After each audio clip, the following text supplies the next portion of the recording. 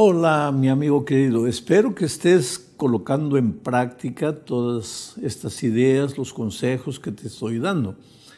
Porque el verdadero aprendizaje no es solo teoría. El mundo está lleno de teoría. Hay que salir de la redoma de la teoría y entrar en la vida real, en la práctica. No se aprende a jugar fútbol estudiando un libro de fútbol, sino entrando en la cancha y pateando la pelota. Entonces la vida cristiana es igual. Teoría, teoría, teoría no te ayuda mucho. Tienes que practicar estos consejos que te estoy dando. Entonces hoy responderemos una pregunta. ¿Cómo orar en todo tiempo? Porque existen dos tipos de oración.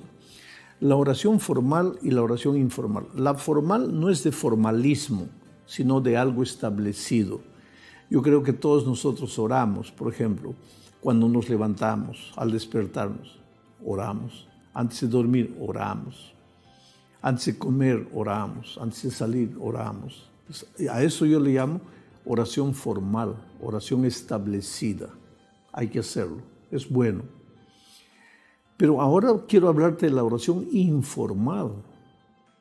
¿Qué pasa cuando termina la oración formal? Tú le dices, bueno Dios, cuídame en el viaje, voy a ir, tráeme con paz, Amén y te vas y ya te olvidas de Dios. Yo creo que aquí está la, la experiencia más difícil para el cristiano. Vivir a lo largo del día haciendo lo que tengas que hacer, pero relacionando todo con Dios. La escritura dice que Enoch andió con Dios y el espíritu de profecía dice que Enoch conversaba con Dios mientras iba por aquí y por allá. Tú tienes que aprender a relacionar todo lo que haces con Dios. Ves a un pajarito volando, en lugar de decir, oh, qué pajarito interesante, habla con Dios. Mira, Señor, qué, pajarito bonito. Alguien te cerró en el tránsito. En lugar de darle una palabra fea, dile, mira, Señor, este malcriado se me metió aquí. Pero relaciona todo con Dios. El problema nuestro, ¿sabes cuál es? Es que como caemos en el terreno de la religiosidad establecida, formal, así, pensamos que vivir una vida santa es oh, andar todo serio, no miras para aquí, no miras para allá, no sonríes, oh, ese es un hombre consagrado. No, querido, así eran los fariseos. La vida con Cristo es informal, dinámica, alegre, juega, bromea, come, pero en todo momento ten presente que Dios está a tu lado y conversa con Dios. En tu mente conversa con Dios. A veces yo solito en las grandes ciudades del mundo estoy manejando un carro y veo que el chofer del otro carro al lado me mira y sonríe. ¿Y por qué sonríe? Porque me ve hablando, moviendo la boca. Y estoy solo en el carro, entonces él debe pensar, está loco hablando con quién?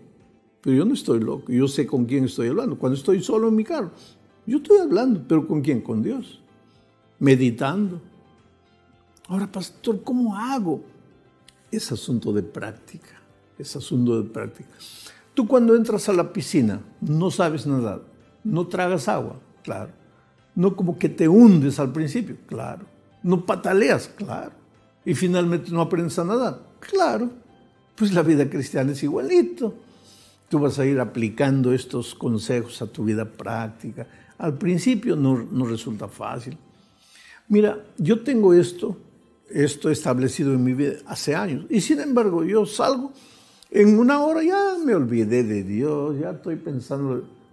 Y mira que con toda la experiencia que tengo y con todo lo que he escrito y hablado y predicado y enseñado al respecto de este tema, es que yo le llamo a eso el proceso de la santificación. El pecado nos apartó de Dios. Aprender a volver a Dios y aprender a no separarnos de Dios lleva tiempo. Entonces, un poco hoy, vienes a Dios, te separas, después te hieres porque separado de Dios, claro que te hieres. Ahí regresas, de, te hieres, te separas. Y en ese proceso vas aprendiendo y finalmente llegas a la conclusión de que, Señor, no vale la pena separarme de ti. Pastor, ¿y si tengo ganas de hacer algo malo? pues cuéntale a Dios eso malo que sientes ganas de ir. El problema es que nosotros pensamos que Dios es para, Señor, dame consagración, dame fe, bendíceme, cuídame, guárdame. Habla con Dios de todo. Ves una chica bonita, de un cuerpo atractivo, te da ganas de mirarla. En lugar de decir, no, no voy a mirar porque es pecado, no voy a mirar porque es pecado. Dile al Señor, mira Señor, esa mujer bonita, vestida de ropa escandalosa, me da ganas de mirarla, ¿qué hago? Pero cuando tú estás hablando con Dios, de repente ya no te da ganas de mirarla. Tienes que aprender a vivir la vida cristiana. Que Dios te bendiga.